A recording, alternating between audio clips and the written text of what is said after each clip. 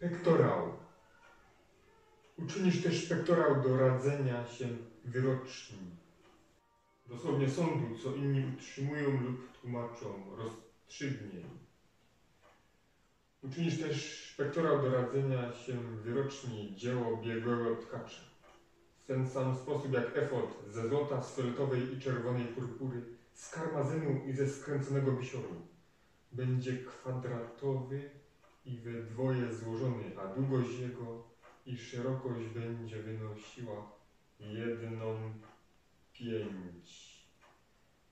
Umieści na nim cztery rzędy drogich kamieni.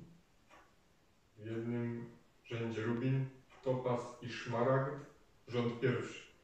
W drugim rzędzie granat, szafir i beryl. W trzecim rzędzie hiacynt, agat i ametyst. A w czwartym rzędzie złocisty topaz, onyks i jaspis.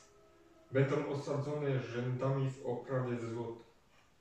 Kamienie te otrzymają imiona synów Izraela. Będzie ich dwanaście według ich imion. Będą ryte na wzór pieczęci, każdy z własnym imieniem według dwunastu pokoleń. Uczynisz do pektorału łańcuszki jako skręcone sznurki, jak plecionka z czystego złota. Uczynisz też do pektorału dwa złote pierścienie i przymocujesz oba te pierścienie na obu górnych końcach pektorału. Dwie złote plecionki przewleczesz przez oba pierścienie na obu górnych końcach pektorału. Oba zaś pozostałe końce obydwu plecionek przymocujesz do obu opraw i przywiążesz do poprzedniego ramiennika efodu. Potem wykonasz jeszcze dwa złote pierścienie i umieścisz je na dwóch dolnych końcach pektorału u jego brzegu po stronie wewnętrznej zwróconej do efodu.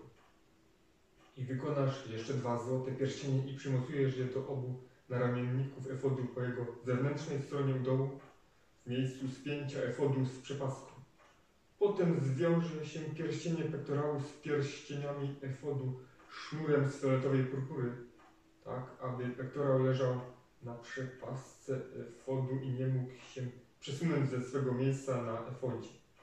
W ten sposób Aaron będzie nosił imiona synów Izraela, wypisane na pektorale do radzenia się wyroczni na swym sercu, gdy będzie wchodził do miejsca świętego, aby o nich pamiętał przed Panem ustawicznie.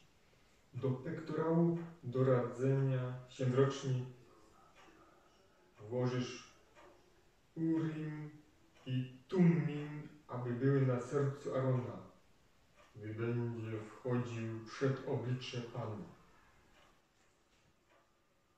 Urim, Tummim, dosłownie światło i doskonałość.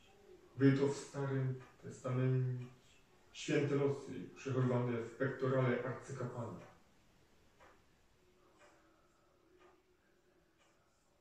Te Izraelitom zastępowały wyrocznie pogan. I tak będzie nosił Aaron zawsze na sercu swoim pektorał do radzenia się wyroczni dla Izraelitów przed obliczem Pana.